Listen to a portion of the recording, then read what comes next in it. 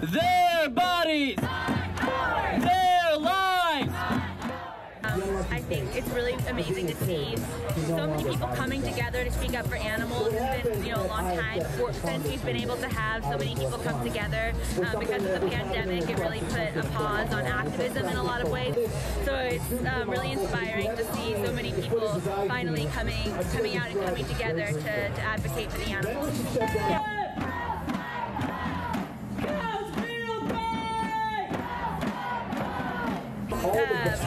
Actually joined the animal rights movement when I was 11 years old, so about eight years ago, uh, by founding my nonprofit organization called Happy Hen Animal Sanctuary, and my uh, nonprofit is in San Luis Obispo, California, and we rescue animals from factory farms and slaughterhouses and give them the lives that they deserve. We give them veterinary care um, and make sure that they're happy and comfortable. So we've saved over 1,000 animals from factory farms and slaughterhouses.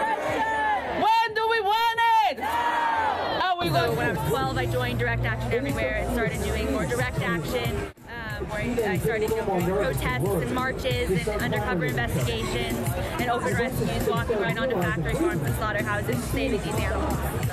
Every single person can change the world by just taking action and speaking up. We just have to leave our comfort zones behind and take action for these animals. Speak up, speak loudly, and you know we can make a huge difference.